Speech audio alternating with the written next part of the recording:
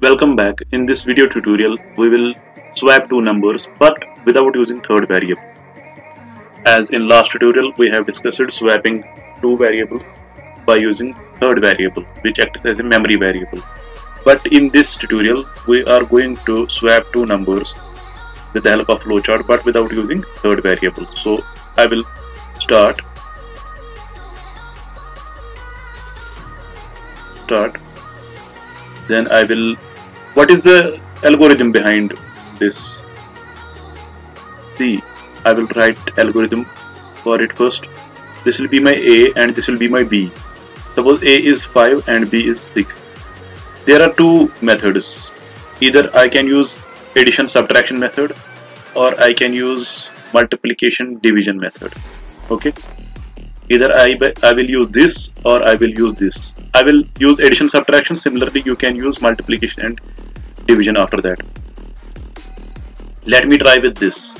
I will not use th uh, third variable here. I will sum up this 5 plus 6 that is equal to 11 okay. I will write a is equal to a plus b. So this a will be equal to will be replaced by a plus b. What is a plus b? 5 plus 6 that will be equal to 11 okay. Now this b will be equal to this b will be equal to a minus b. What is a? A is 11 now. Minus b. 11 minus 6 that is equal to 5 now again this a will be again updated. This a will be equal to will be equal to a minus b. 11 minus 5 that is equal to 6 originally it was 5 and 6 now it is 6 and 5 this is the way we are using. In the same way we can use addition multiplication and division method. Suppose it's a and b. Suppose a is I will draw it here a b this 5 and 6 a will be equal to we will update a to 5 multiplied by 6 that is equal to 5 multiplied by 6 it is equal to 5 6 30 okay. B will be equal to a, a is replaced by 30 b will be equal to 30 divided by this 6 30 divided by 6 which will be equal to 5 30 divided by 6 is equal to 5 b will be equal to 5 and again a will be again updated. A will be equal to a divided by b 30 divided by 5 5 6 are 30 a will be equal to 6 this was original a5 and b 6 now new value of a is 6 and b is 5 so these have been swapped. Now I will try to make it uh, now I will try to draw a flowchart of it this was algorithm. How we can swap without using third variable. Now here I will write read a. A b. 5 6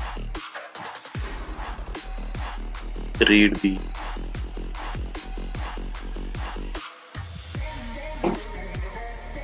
New a of new value of a will be equal to I, I will use addition and subtraction method. You can then use division and multiplication method okay?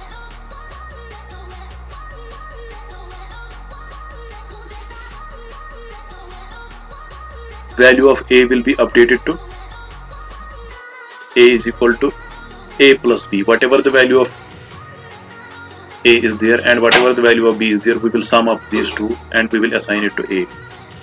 A is equal to a plus b.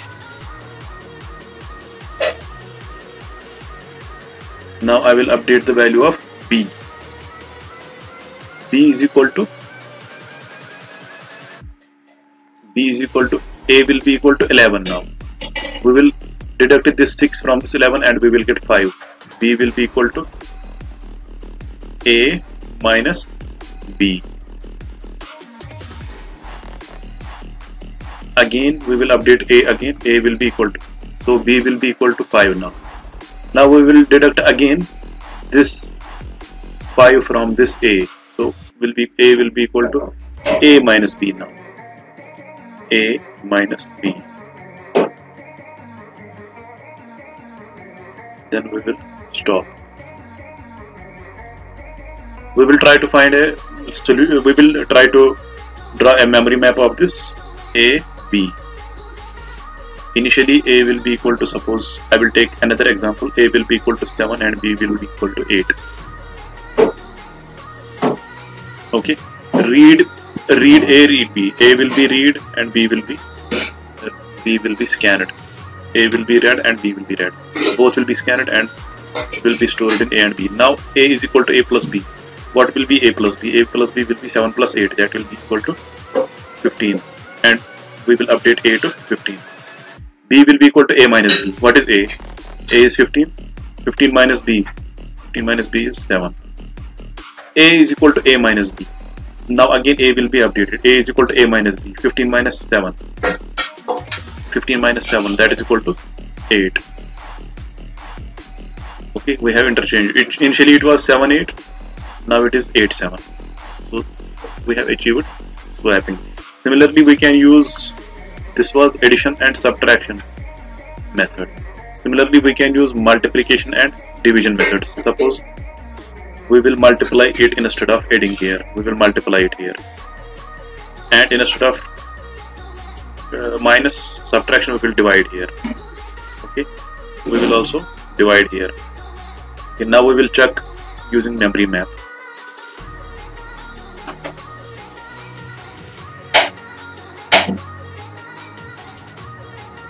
I will erase this first.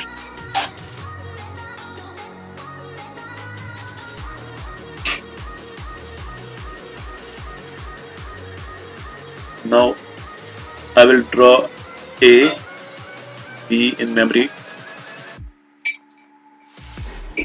Suppose A is 5 B is 6 we have read them. A, A we have read as 5 B we have read as 6 now A is equal to A multiplied by B. A multiplied by B 5 into 6 is equal to 30 B is equal to A divided by B.